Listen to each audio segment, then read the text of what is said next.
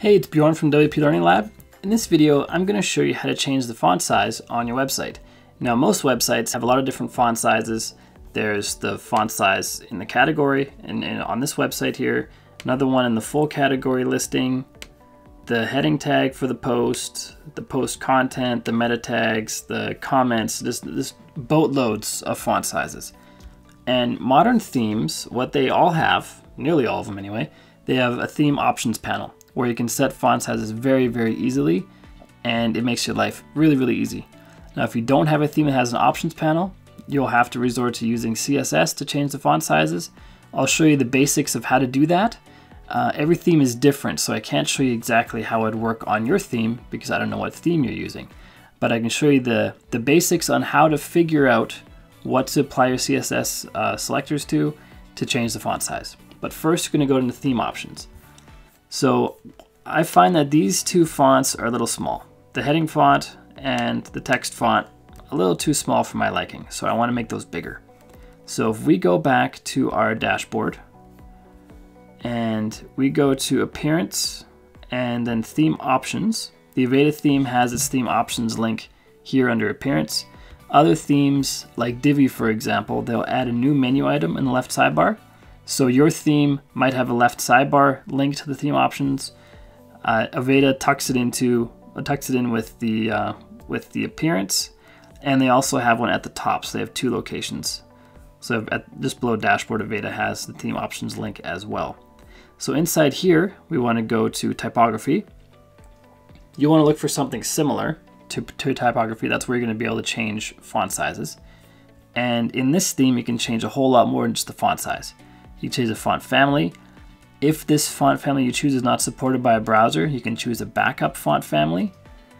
You can choose the, the font weight, which is whether it's bold or not bold, and, and what degree of boldness for some fonts. There's a whole bunch of stuff you can change. I just want to change the font size. So I'm going to change this from 13 to 20. Then click on Save Changes. And then those are saved. Now I can go back here, refresh this page, and we see that it is increased from uh, 13 to 20 now. But now this heading tag looks a little too small. But I don't know which header this is, so I'm going to right click on it, click on inspect, and we see that it is the H2 tag.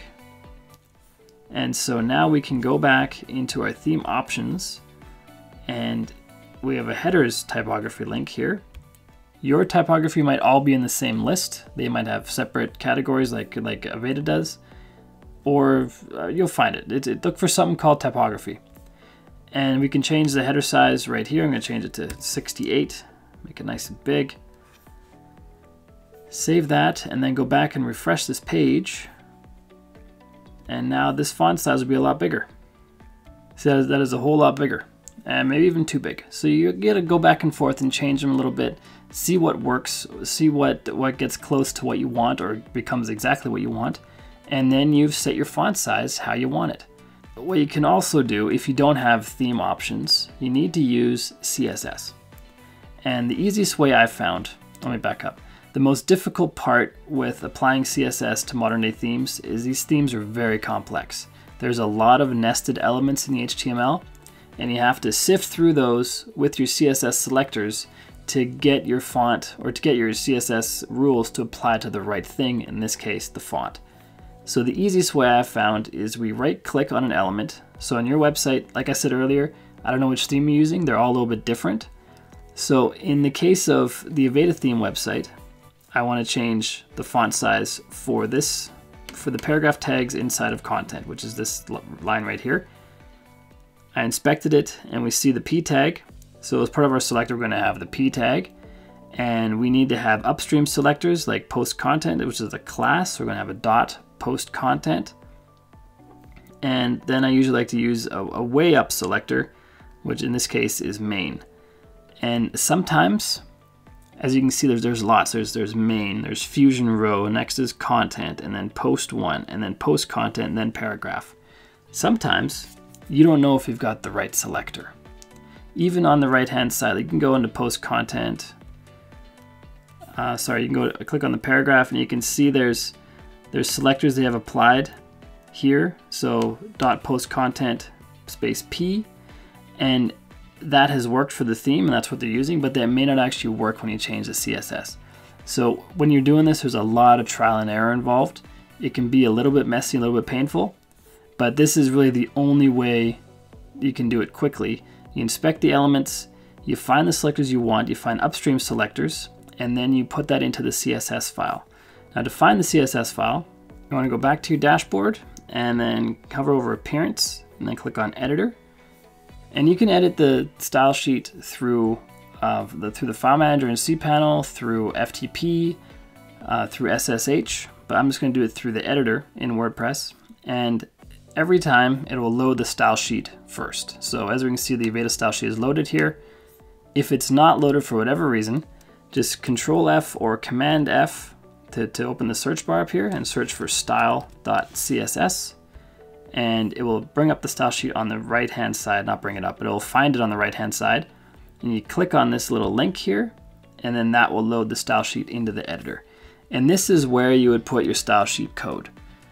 And so, or your CSS code, I mean. So, like I said, every theme is different, so I can't really put code in here and have that work for you. So you have to do a lot of trial and error with this CSS stuff. And the, the most important thing is that you know some CSS, otherwise this is not going to work well for you. So the best advice I can give you is use the inspector to find out which elements you want to apply the CSS to and the upstream selectors for those elements, and then use that to create your CSS code. And I have to forewarn you, there's going to be a lot of trial and error. Sometimes you might get it right in the first try, other times it might take five or six tries. But you just got to keep trying, and eventually you'll get it. So uh, in this video, we learn how to change font sizes using theme options and regular CSS. So I hope this video helps you. My name is Bjorn Allpass from WP Learning Lab.